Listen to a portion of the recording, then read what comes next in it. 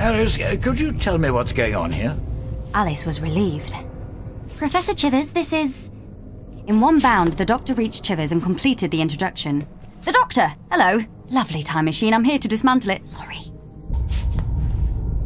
You say you've made a time loop. Think about it. What shape's a loop? Round. Alice answered. Oval, at the very least.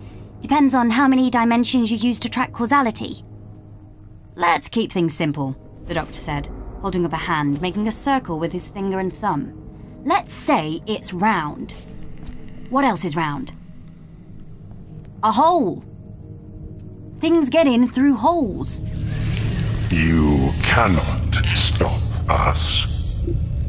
Hello, said the doctor cautiously. Why would I want to stop you? We are already here. So I see. Who are you? He asked. We are the Creevix. The doctor's right, Alice replied defiantly. You don't belong here. You're like beetles inside a clock. You see the cogs, the working, you hear every tick, but you can't tell the time. The Creevix took a step closer, and suddenly Alice didn't feel quite so brave. The doctor's clock has stopped.